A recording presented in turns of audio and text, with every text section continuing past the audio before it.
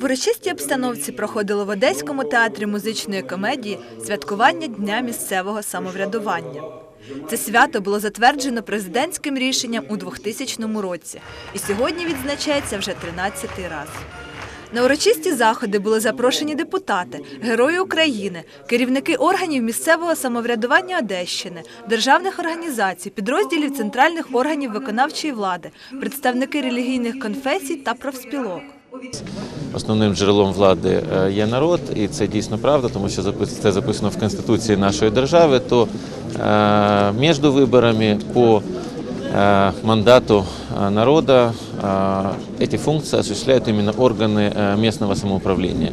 Голова облдержадміністрації Микола Скорик зазначив, що лідери територіальних громад та депутати готові проводити політику президента України Віктора Януковича, яка гарантує позитивні зміни в усіх сферах соціального життя.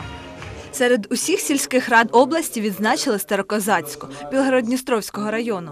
На святкуванні голові Старокозацької сільської ради вручили сертифікат на отримання призу за друге місце у номінації Краща територія сільської ради з розвитку соціальної інфраструктури та благоустрою території.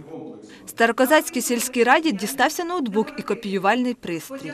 За заслуги у соціально-економічного розвитку співробітникам органів місцевого самоврядування були вручені подяки прем'єр-міністра України, почесні відзнаки голови Одеської обласної державної адміністрації, почесні відзнаки Одеської обласної ради та іменні годинники. наснаги, щастя, здоров'я і енергії для того, щоб виконати свою основну місію це служити людям.